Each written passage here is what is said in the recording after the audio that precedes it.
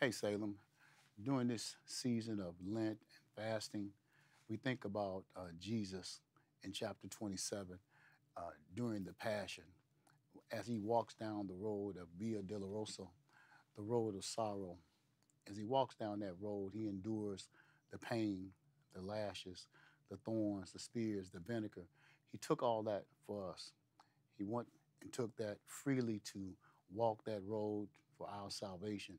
He took the cross. It says in chapter 27 that when Jesus gave up the ghost, that the earth shook and that the dead walked around amongst us.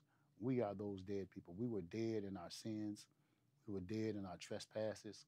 We were dead in our addictions. We were dead in so many areas of our life. But that's good news.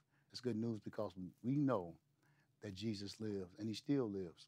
And so as we think about the season of Lent and how to give up or what to sacrifice, we have to remember the sacrifice of Jesus. Remember the pain. Remember the thorns. Remember the vinegar. Remember the crucifixion. Remember those things and think to yourself, I too can give up something because Jesus died so that I might rise. He endured the crown. He endured the spear. He endured the vinegar. He endured the cross for us so that we might live. Amen.